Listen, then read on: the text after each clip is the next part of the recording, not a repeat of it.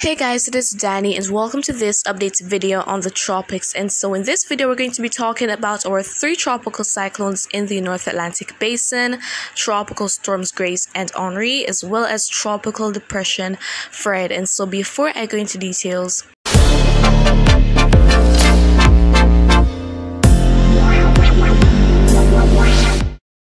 So let's kickstart things with Fred. So we're seeing here that uh, the system is currently located over Georgia and it is accelerating to the north-northeast.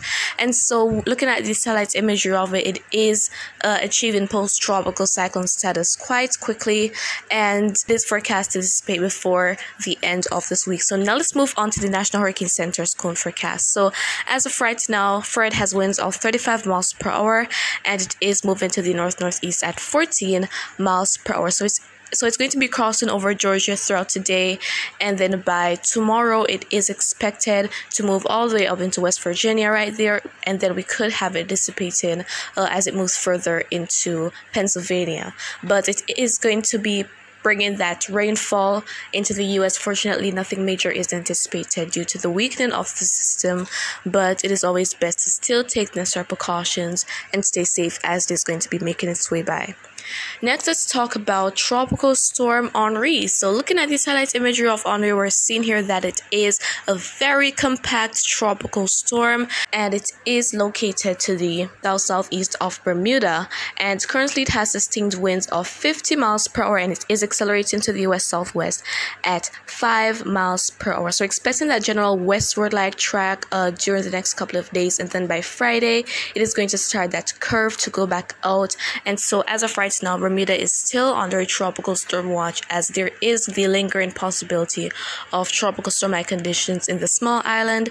So, fortunately, nothing very major is is anticipated because Henri is not going to be making landfall or anything, but as it's going to be making its way by, some of that convection can go onshore of Bermuda and result in some inclement weather conditions. And so, finally, now let's look at tropical storm Grace. So, yes, Grace was a depression and now it has re-strengthened into a tropical storm. So looking at the satellite imagery of it right now, we are seeing here that it is looking quite, uh, it is not very organized, but it has a lot of convection going on. And some of those tropical storm-like conditions are just arriving in eastern sections of Jamaica. So as the system is going to be making its way by or potentially over us, uh, conditions are expected to become more dangerous as we go throughout today. And so here is the National Hurricane Center's cone forecast for Grace. And so as of right now, Jamaica, the Cayman Islands, parts of southern Cuba are under a tropical storm warning. We have a tropical storm watch in effect for Haiti as well as northwestern Cuba. And then we have a hurricane watch in effect for the eastern section of the Yucatan Peninsula. So that means that we could have hurricane conditions, even though we're seeing here that it is expected to remain a tropical storm. There is the possibility that it could bring some hurricane like conditions to portions of the Yucatan as Grace accelerates into the northwestern Caribbean. And so it is possible that Grace Grace's center could move over Jamaica or just north of Jamaica throughout today. And so currently in my area, it is quite sunny, but it's getting cloudy at times as Grace is just approaching the island.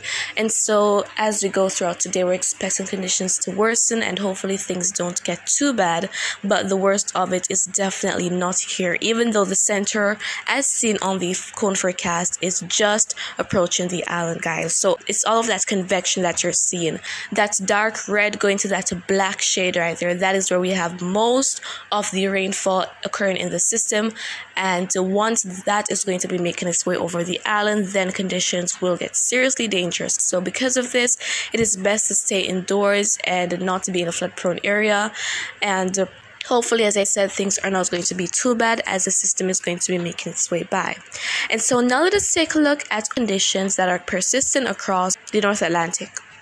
And so taking a look at the wind shear map, we're seeing here that the wind shear is actually very favorable across uh, the Caribbean as well as the Gulf of Mexico. And so how to know that is because is because of the different colors. We have the green meaning favorable, the yellow meaning neutral, and the red meaning unfavorable. So when you see a lot of reds, it means that uh, it is unlikely to have much intensification taking place because that strong shear just rips up our system. And then when you have a lot of those greens, it means that it is likely that we will have intensification. So we're seeing all of uh, those greens persistent across the Caribbean and in the Gulf of Mexico. So this is what is going to be aiding in Grace's intensification during the next couple of days because it is going to be in favorable shear, which plays a huge role when it comes onto a tropical cyclone's intensification. And then when it moves over into the Gulf of Mexico, we could have further intensification before it makes landfall, most likely in Mexico. But if it moves over the Yucatan, then it could weaken slightly.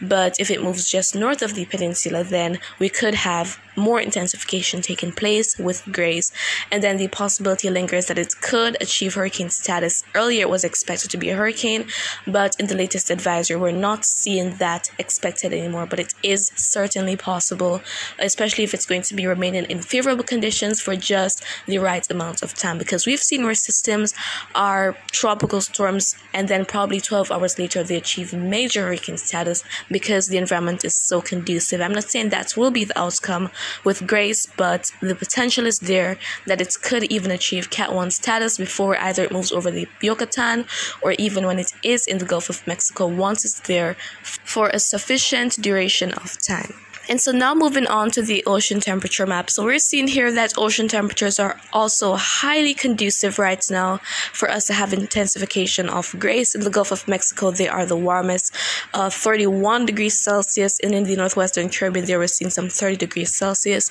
So there is almost no doubt that we will have grace intensifying in the northwestern Caribbean. And when it moves over into the Gulf of Mexico, along with the fact that the wind shear is also very conducive there. So if you're in the Yucatan or anywhere else that is likely to be affected, such as in Mexico, if you're under a tropical storm watch or warning, please take all the necessary precautions and stay safe, guys. Do not underestimate the Grace just because it is a tropical storm, because a tropical storm is enough to cause some significant damages. We've seen where we have weak tropical cyclones affect areas, bringing a lot of rain, causing flooding. A perfect example is Imelda of 2019, one of the wettest tropical cyclones cyclones on record in the US, and it was not even a strong tropical storm. So, guys, please take all the necessary precautions and stay safe if you're going to be affected by Grace, as this is going to be making its way across the northwestern Caribbean and eventually into the Gulf of Mexico. And of course, I will keep you updated on the latest as time goes by. And so, if you found this video to be quite informative, please give a thumbs up, and you can also share your thoughts with me in the comments or ask a question. I'll try to respond as best and as soon as I can. Just remember to always be weatherwise.